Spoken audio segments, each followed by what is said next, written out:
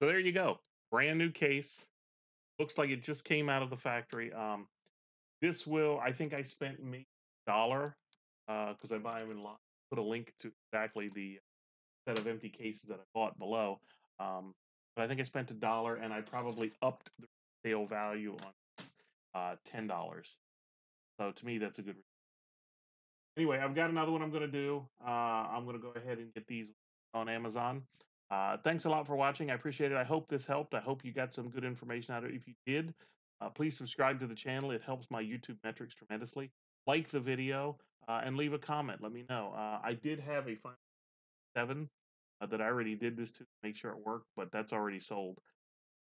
Can't show you that. But uh, I had a 7, an 8, and a 9. I On the 8, I'm going to work on the 9 next and get.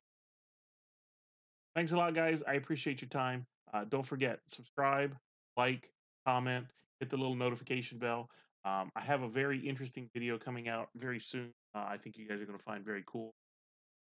Still trying to figure out what I'm doing with the channel. It's a little bit of hodgepodge of everything. But uh, yeah, right now I'm focused on fixing old video games, restoring them, reselling them, uh, that kind of stuff. So anyway, thanks a lot. I'll talk to you soon.